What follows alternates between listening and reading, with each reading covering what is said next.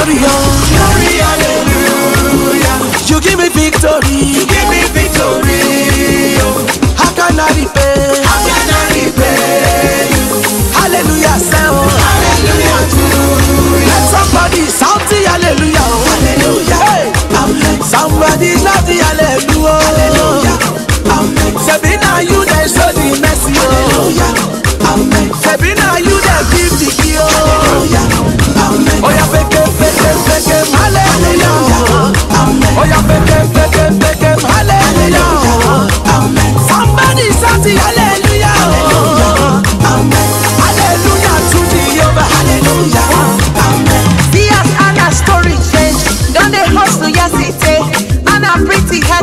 Anointing self will start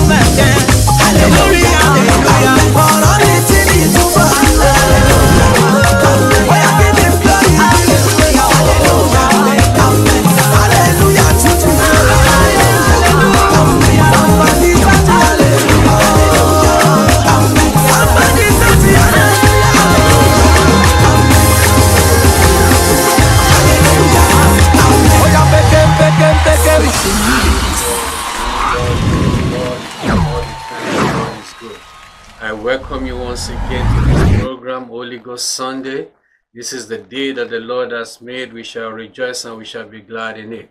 God is a good God. God is doing something great and wonderful in your life.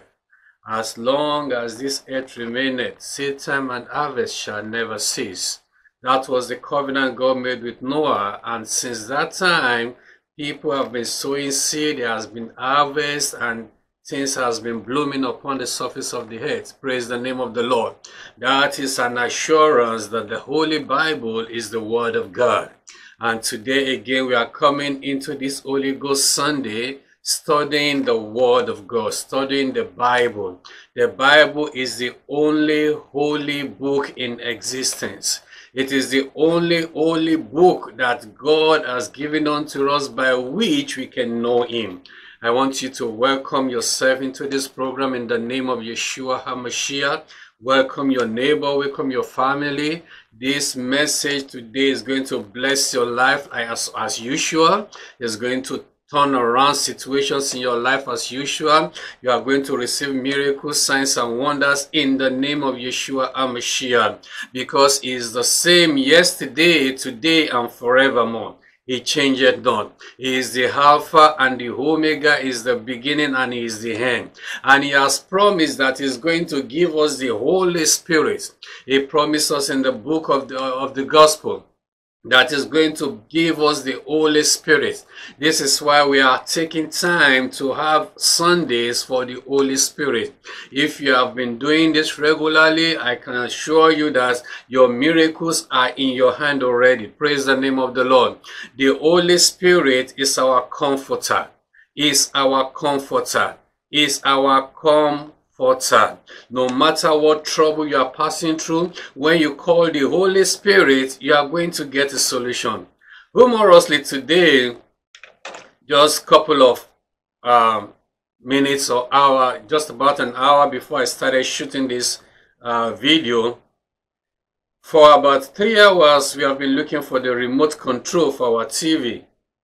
Our son usually likes watching cartoons, and um, we couldn't find the remote control for the TV and we searched and searched and searched everywhere in the house. We couldn't find it. After like three hours, we couldn't find the remote control. What is going on? Then my wife was just wondering, where could this remote control be? Then I just said that the Holy Spirit will help us to look for it. In the next two minutes, two minutes, two minutes, she looked under the couch and just found it. Something we've been looking for for like, for like three hours. In two minutes, the Holy Spirit discovered it. Praise the name of the Lord. The Holy Spirit is sweet. The Holy Spirit is available to us if we acknowledge Him. So no matter what trouble that you are passing through, He is the comforter. I want you to know that He is the comforter. There is no pain, there is no sorrow, there is no anguish, there is no sickness, there is no poverty, there is no lamentation in your life that the Holy Spirit cannot eliminate. He is the divine comforter. And when the Holy Spirit comforts you, you are comforted. Praise the name of the Lord. You are looking for a child, the Holy Spirit is your comforter. The Holy Spirit is going to give you a child. You are looking for a job, the Holy Spirit will give you a job. You are looking for prosperity, the Holy Spirit will give you prosperity. You are looking for wisdom, you are looking for blessings. The Holy Spirit is the key. Hallelujah. That is why Holy Ghost Sunday is very, very important. Holy Ghost Sunday is the time you want to fellowship with the Holy Spirit so that the Holy Spirit can minister unto you. Praise the name of the Lord. The Holy Spirit is a gentleman. It is until you call upon him that he moves. He does not force himself into your life. You have to acknowledge him. You have to speak to him. He's your friend. So I just want us to begin this uh, program today by knowing that the Holy Spirit is available to us. Even when you pray, you tell the Holy Spirit, help me to pray. The Bible says that we know not how to pray, but the Holy Spirit helps us out in our prayers. So even when it comes to praying, you don't know how to pray. But you can tell the Holy Spirit, Holy Spirit, help me to pray. And the moment you say that, you have acknowledged the Holy Spirit. You have invited the Holy Spirit. And the Holy Spirit will demonstrate His power in your life. Praise the name of the Lord. So let us begin this uh, program today with prayers. Hallelujah. Holy Spirit, help us to pray. In the name of Yeshua HaMashiach, Father in heaven, we glorify your name. We thank you, Lord, because you are good. You are good unto us. You are so good. You sent your Holy Spirit into our life, O Lord, to help us and to comfort us in every situation. Father, we thank you for the great blessing of the Holy Spirit. We thank you for the great blessing of the Holy Spirit. We thank you for the blood of the Lamb. We thank you for the blood of Yeshua HaMashiach. We thank you for the anointing that you have poured upon us that we might reign upon this earth, O Lord. Father, we give you the glory. We give you the adoration. Father, bless us today in the name of Yeshua. As we come into your word, Holy Spirit, guide us. Holy Spirit, teach us. Holy Spirit, open our eyes of understanding. Open our minds, open our intellect, open our knowledge. Give us wisdom, knowledge, and understanding in the deep things of the Word of God. Father, we say that by the power of the Holy Spirit, we rebuke Satan. Every force of Satan, we rebuke you in the power. Thank you, Lord.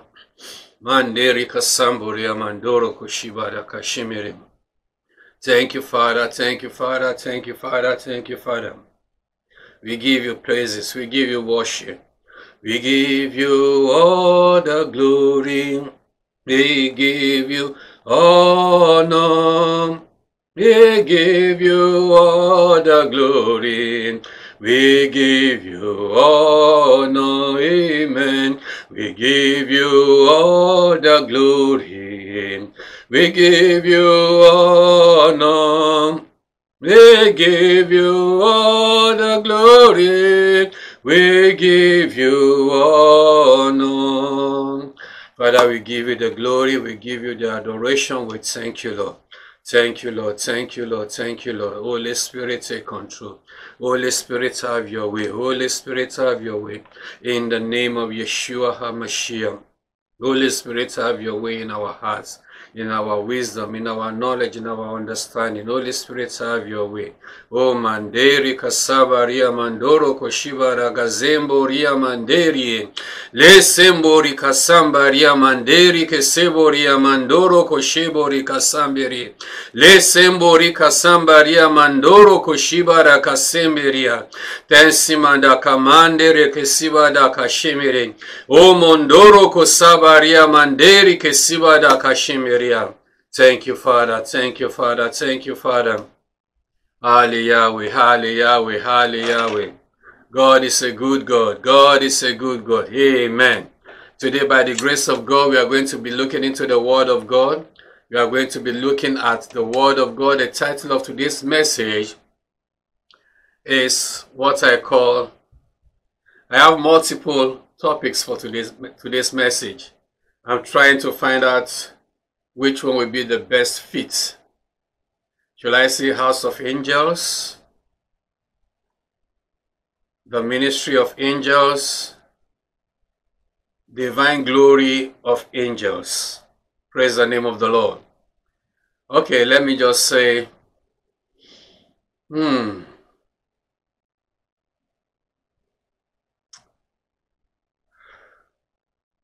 It's a tough one for me to select a topic. Holy Spirit just help me. Probably before the end of the message, I will come up with one talk with, with, with the name of a topic. Hallelujah. Hallelujah, hallelujah, hallelujah, hallelujah, hallelujah. Mandere kesibara kamondoro kushibara kaseboria manderia. Le mondoro kusibada kamandere kesibada kashiboria mandere.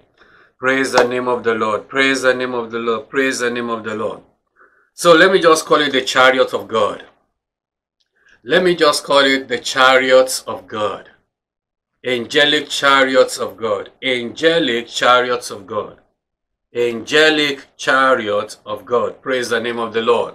That is what I will call the title of today's message. Hallelujah. The chariot of God. The angelic chariot of God. That is what I will call today's message. The angelic chariot of God. Praise the name of the Lord. One thing we'll have to know is that God surrounds himself with angels. Everywhere God goes to, angels are always surrounding God. Wherever angels are, that is the place that God will manifest. So at Holy Ghost Sunday, our intention, our purpose is to see the manifestation of the Holy Spirit. And we know that the Holy Spirit is God. And if angels are always surrounding God, angels are always surrounding the Holy Spirit. The Holy Spirit moves in the company of angels. The Holy Spirit manifests in the company of angels. You see, God created angels for many purposes. For many purposes, angels are, were created. They were created to be messengers, to serve God, to bring message from God to man. They were created to, to minister unto the children of God. They are created to praise God. They were created to worship God. Now, in our relationship with God, we need the companionship of the angels of God. There is little or nothing we can do if there are no angels. We are not designed, God did not design us, God did not create us to be independent of angels. Because God Himself surrounds Himself with multitudes of angels. Angels are not protecting God, no. But angels are the, are, are the ministering spirits that God sends to minister unto us. So today's message is to focus on the impact of angel in our quest for spiritual upliftment, in our quest for engagement with the Holy Ghost. There is a role that angels will play in your life when you are relating with the Holy Spirit. And God has set it like that and there's nothing we can do to change it because that is a profitable thing for us. Praise the name of the Lord. Everywhere God goes to, He surrounds Himself with angels. Let us look into the book of Psalms. Hallelujah. Psalm 68 verse 17. Psalm 68 verse 17. The chariots of God are 20,000, even thousands of angels. Hallelujah. The chariots of God are 20,000, even thousands of angels. So when God is going on an entourage, there are chariots of angels. There are angels, thousands upon thousands of angels, millions of thousands of angels, innumerable numbers of angels. The book of Hebrews says that in the church, in the first church of the, in the church of the firstborn, at Mount Sion, there are innumerable, uncountable number of angels round about the throne of God. So from this onset, we see that angels, they form a, a strong part of our spirituality. We must know the role that angels play because if we don't know it, we might not activate it. And if we don't activate it, we will not manifest it. If we don't manifest it, we will not profit from it. We need to have a good knowledge of the chariots of God. The chariots of God are angels. When God comes to you, he says angels before him to come and minister unto us. Praise the name of the Lord. When we come into the presence of God at Holy Ghost Sunday, we must realize that we are coming into the presence of the chariot of God. God moves in a chariot. Hallelujah. And the psalmist is saying here that the chariots of God, the movement of God, the coming of the God, of God, the arriving of the Holy Spirit is with angelic entourage. The chariot of the Holy Spirit is an angelic entourage. And that angelic entourage consists of thousands of angels. Let's look at that psalm again. The chariots of God are 20,000, even thousands of angels. The Lord is among them. Look at that. Yahweh is among them. Yahweh is in the midst of angels. Yahweh comes down in the midst of angels. The Lord is among them. So if you want to experience the presence of the Lord, you need to understand that there is an angelic participation in the coming of the Lord. God expects you to activate angels. You must know how to activate angel at, at Holy Ghost Sunday. Holy Ghost Sunday also requires the activation of the angels of God because when you activate the angels of God, the Lord is among them. Praise God. The Lord is among his angels. The Lord flows where his angels leads. There is an important message we must understand about this. Angels are very important to us. When Jacob left his father's house to go to the house of Laban, he got to Bethel and slept there. In a dream, he saw a ladder touching the earth from heaven. And on that ladder, angels were going up and down on that ladder. And at the top of the ladder, God spoke to Jacob. Now we see right there that the angels were moving and God spoke. Angels were moving up and down. Angels were in that vicinity and God spoke.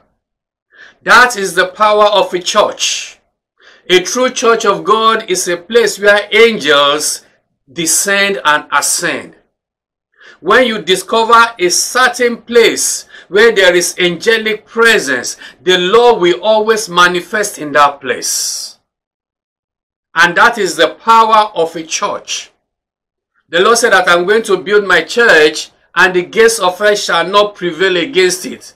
Because there are angels occupying that, that particular place. There are places the kingdom of Satan occupies.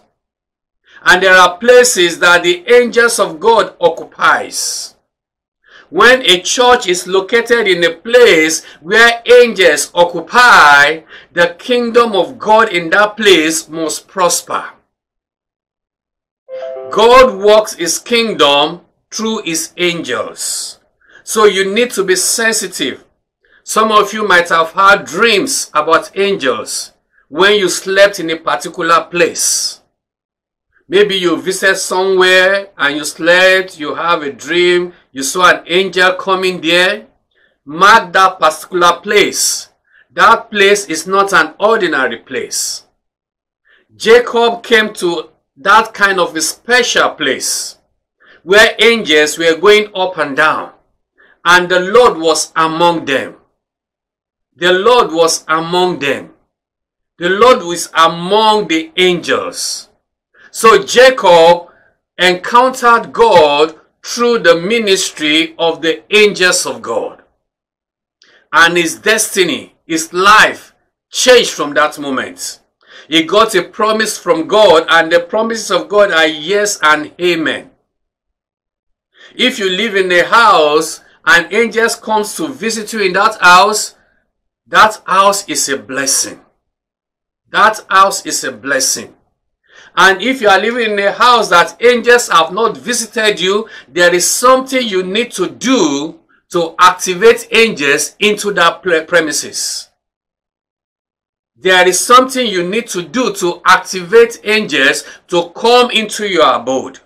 There is something you need to do to activate angels to come into your lockdown room. So it is not enough to just have any room as a lockdown room where you pray. You need to attract angels into your lockdown room. You need to attract angels to come down into your lockdown room and reside there. Because wherever the angels go, the Holy Spirit will follow. Praise the name of the Lord. There are angels over Jerusalem. There are angels over Israel. When the Lord was ascending to heaven, he told the disciples, Depart not from Jerusalem until you receive the promise of the Father, which is the Holy Ghost.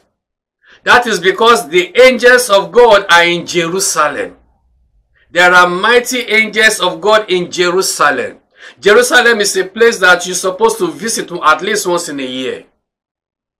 There are angels of God that are assigned over Jerusalem. And because the angel of God is assigned over Jerusalem, the Holy Spirit will come there. The Holy Spirit will come there because the Lord is in the midst of his angels. Praise the name of the Lord. That's why the Lord said, told them, stay in Jerusalem. Because in Jerusalem there are angels. And the Holy Spirit will come to where there are angels. So in your lockdown room, you need to know how to activate the presence of the angels of God. God has given us the key, and that is what we are going to discover. How do I activate the ministries of the angels of God in my lockdown room, in my prayer closet? Because if there are angels in your prayer closet, the angels are taking your prayers to heaven. And every one of your requests is going to heaven. And every legitimate prayer request you make must find answer from heaven. Praise the name of the Lord. So we see here in this book of Psalm It says that the Lord is among them as in Sinai in the holy place. Angels go to holy places. Don't expect to find an angel in a beer parlor. If you are into dirty business, angels cannot come there. If you are into unholy relationship, angels cannot come there. Angels go to holy places. Angels goes to holy places. You cannot be fornicating in a room and expect the angels of God to come there. You cannot be lying, stealing, cheating, and killing in a place and expect the Holy Spirit to come there. The Holy Spirit comes to a holy place. The angels of God, they go to holy places. And when they go to holy places, the Lord follows them. The Lord goes with them to bless the place. When Jacob came to Bethel, the angels came to that place. And Jacob woke up in the morning and said that surely this is the house of God. This place is the house of God. This place is the house of God because it's a holy place. So you need to have a holy life. You need to live a holy life. You need to know, you need to make your house a holy place. Don't put anything in your house that will annoy God. Don't put any idol in your house. Don't bring any prostitution into your house. Don't allow your children to commit fornication in your house. Don't allow alcohol in your house. If you want the flow of the ministry of angels. Because there are certain things that can defile a place and angels will refuse to come there. So even if God wants to bless you in your house, if your house is defiled, the angels will not come. The angels will not come. So we need to be very, very careful. Praise the name of the Lord. Where you operate from, how you how you maintain the space around you, it has to be holy. Hallelujah. So let's look at that psalm again. Let's let's just read it one more time. The chariots of God are twenty thousand, and thousands of angels. The Lord is among them as in Sinai in the holy place. Hallelujah. Let's look at another reference in Psalm 99 verse 1. The Lord reigneth, let the people tremble. Is seated between the cherubims. Hallelujah. This is what the scripture says. It said that God sits between cherubims, between angels. So this is a very important thing for us to know because there is a reason for us to learn how to activate the presence of angels. In your lockdown room, in your prayer closet, you need to have the presence of angels because God sits between cherubims. He sits between angels. Angels are singing, You are worthy, O Lord. Hallelujah, you are worthy, O Lord. Let's look at that again. It sits between the cherubims. Let the earth be moved. Hallelujah.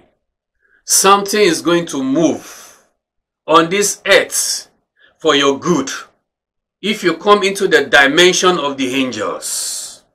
Something must move, something must happen. If in your prayer closet there is the presence of angels, the Lord will come and sit there and the earth must move for you. Things must work for you. Things must work for your favor. Things must work for your beauty. Things must work for your blessing. Let the earth move. Every mountain that has not moved before, in the presence of the angels of God, they will begin to move.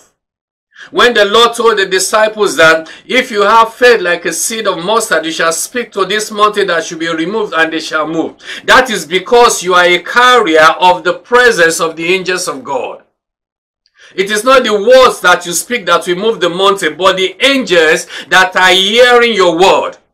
Because they are ministering spirit to minister unto us the heirs of salvation. That is why we need to know the ministry of angels. They are our messengers. They are our comforter. They work with the Holy Spirit to move the heads. They move the heads. They move the heads. Every time the children of Israel carries the Ark of the Covenant, the earth moves. Praise the name of the Lord. When Joshua came to River Jordan, God told him that let the priest carry the Ark of the Covenant. The moment the feet of the priest touched the water of Jordan, the water stopped and there was a dry path for them. The water stopped when angelic ministry entered the water. They were carrying the Ark of the Covenant. And the Ark of the Covenant symbolizes the ministry of angels. It symbolizes the power that God has bestowed upon angels to minister unto us, the children of God. Praise the name of the Lord. God is a good God. I want to, you to know very deep in your heart that there is nothing you can achieve without God using the angels to help you. That is why we are looking at this message. And if you can apply this message into your life, you will never be stranded again. You will never be stranded. Whatever needs to move must move. Any man that needs to move must move. Any law that needs to move must move. He said that the Lord sits in between the cherubims. Let the earth move. That is where you can begin to command the earth to move. And they will move for your sake in the name of Yeshua HaMashiach. God is a good God. At any given time, there are thousands of angels surrounding God. Amen. Now let's look at the book of Revelations, chapter 7, verse 11. Revelations chapter 7, verse 11. And all the angels stood round about the throne, and about the elders, and the four beasts, and fell before the throne on their face, and worship God. Angels are always around the throne of God to worship God. Your lockdown room is a replica of the throne of God.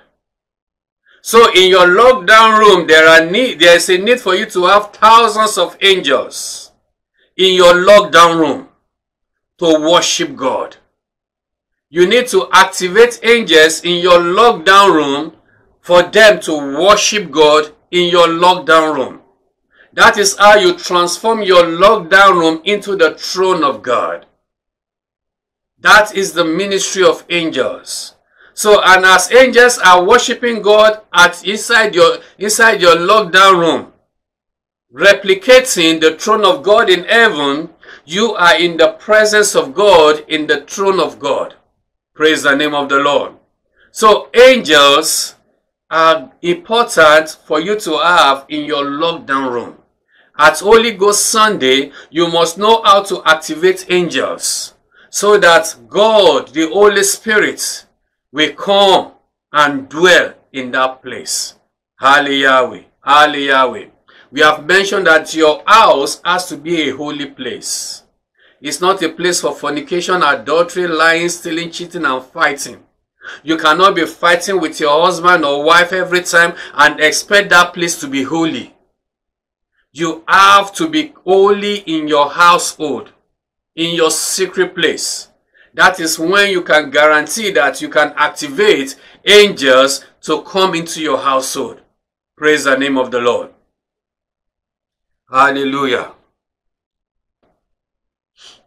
Angels are essential in our prayer life. Let us look at what the Bible says about Moses. In the book, chapter 7, verse 89. And when Moses was gone into the tabernacle of the congregation to speak with him, then he heard the voice of one speaking unto him from off the mercy seat that was upon the ark of testimony, from between the two cherubims, from between the two cherubims. God was speaking to Moses from between the two cherubims.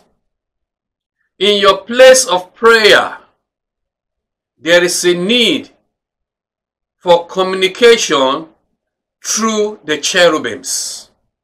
We pray in the name of Yeshua. We pray in the name of Jesus. But when God was to speak back to Moses, he spoke to him from between the two cherubims. This is communication with God. Angels are the agents that carries our voice to God. They carry our message to God and bring message from God to us through the cherubims. So this is the chariots of God. That is the communication officers. They are the, they are the information officers. So this is what Moses experienced. That God spoke to him through the two cherubims. He went into the tabernacle, into the secret place of God. That is the lockdown room. That is the prayer closet. So when you go into your prayer closet on Holy Ghost Sunday, you need to activate angels because by activating angels, you are going to hear the voice of God.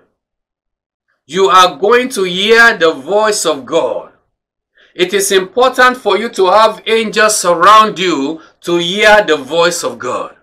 Many people are not hearing the voice of God because there are no angels around them. God wants to speak to us, yes, but He sends His angel. He speaks through His angel. He spoke to Moses through angels. He spoke to Moses through in the in the in the story of the burning bush. The angels manifest in the fire. So God always speaks through His angels. When Mary was to conceive of the Savior, God sent an angel to Mary. God is always sending angel with his voice. And whatever the angels come to say, it must come to pass. So in our prayer life, we need to recognize and establish the presence of angelic ministry. There are things God expects us to do to manifest the presence of angels. We can put our faith in the Word of God by acting on God's instruction and expecting a manifestation of God's promises. Praise the name of the Lord. So we are seeing a valid reason for us to study and dig deep into the ministry of angels. God surrounds himself with angels. God is in the midst of angels. God spoke to Moses from between the two cherubims. Hallelujah. Let's look at that verse again. Moses went up to the tabernacle of the congregation to speak with him. He went to speak with God. He went to pray. Every time people in Israel wanted to pray, they go to the house of God. And when they come to the house of God, they are coming into the presence of the host of the angels of God. Then he heard the voice of one speaking unto him from off the mercy seat. Hallelujah. Where there are angels, there is mercy. Amen. When Psalm 23 said that surely goodness and mercy shall follow me. It is talking about angels of mercy, angels of goodness. Angels of mercy and goodness. Because he activated the ministry of angels. Amen. Praise the name of the Lord. God is a good God.